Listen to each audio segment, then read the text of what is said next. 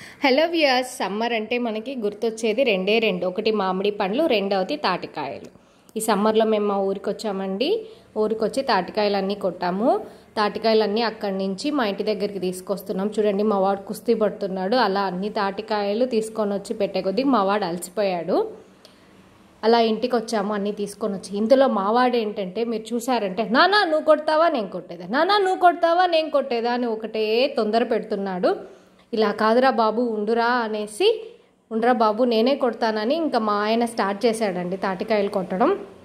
చూశారు కదండి తాటికాయలు ఎలా కొడుతున్నాడో మా ఆయన. రే నానా అంటున్నాడు మా వాడు.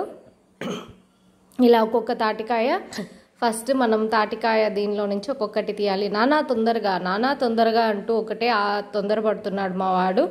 లాస్ట్కి తింటాడో లేదో ఏమంటాడో చూడాలి మరి. ఇంకా ఫస్ట్ మా ఆయన డిసైడ్ అయిపోయారు ఫస్ట్ మా వాడికి కొట్టివ్వాలి అని చెప్పి.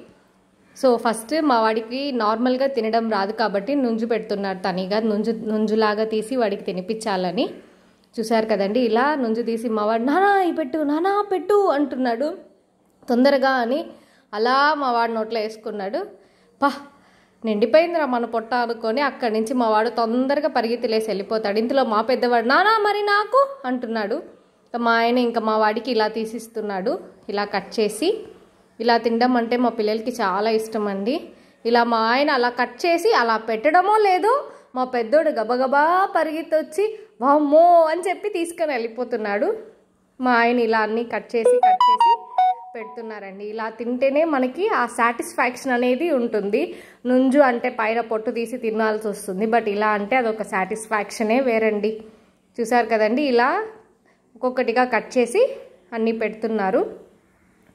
ఇలానే కాకుండా నుంజు కూడా ఇలా నుంజు తీసుకొని కూడా తినచ్చండి. ఫ్రెండ్స్ మీరు కూడా ఈ సమ్మర్లో అందరూ తాటికాయలు తిని హ్యాపీగా ఎంజాయ్ చేయండి. Thank you for watching